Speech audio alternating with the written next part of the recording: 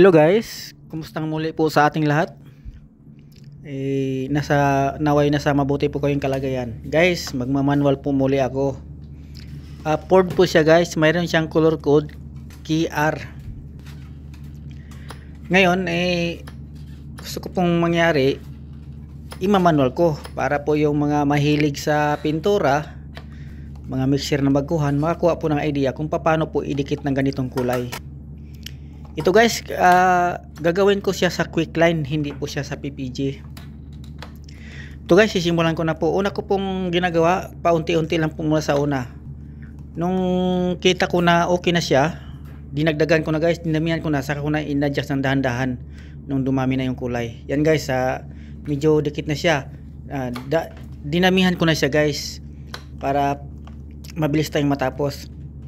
Yan, nung dumami na saka ko na siya in-adjust adjust ng paunti-unti. And guys, QR po yun siya Ford uh, quick line paint order ng may-ari. So guys, tuloy-tuloy lang natin hanggang matapos po natin yung kulay.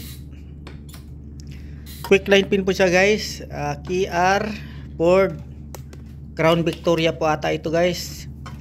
Ayun guys, i-spray out na natin. Ay guys, alanganin pa tayo. Malayo pa. Adjust po muli tayo guys hanggang dumidikit po siya. Uh, kailangan po kasi ito guys sa uh, dikit. Wala po tayong 100% pero kailangan idikit natin yung kulay natin. Ayan guys kulang pa. Alanganin pa tayo. Pero konti na lang. Madadali rin yan guys. Ayan. Kulang pa siya ng asul na mabayulit ang shade. Yan guys tuloy tuloy lang natin hanggang madali po natin yung kulay. And guys kunting kunti na lang po Ayan, alanganin pa siya guys.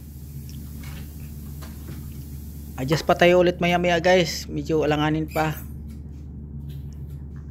Ayan, alanganin pa siya guys. Ma mapula pa tayo. Sumubra, sumubra ako sa patak ng violet. Ayan. Dagdag ulit tayo guys. Ayan. Adjust ng adjust hanggang madali po natin yung kulay.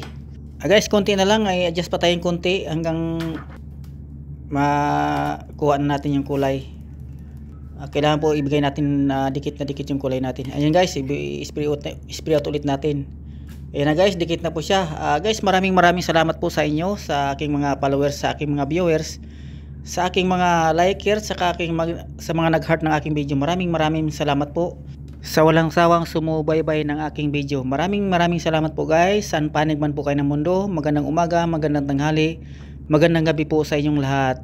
Maraming maraming salamat po uli. Ingat po tayong lahat.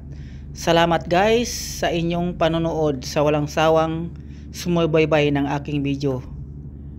Uh, guys, tapos na po tayo. Ayan guys, maganda na po yung kulay natin. Ayan guys, ma tapos na po. Uh, maraming maraming salamat po muli. Walang katapusang pasalamat po sa inyo. Salamat. Bye-bye.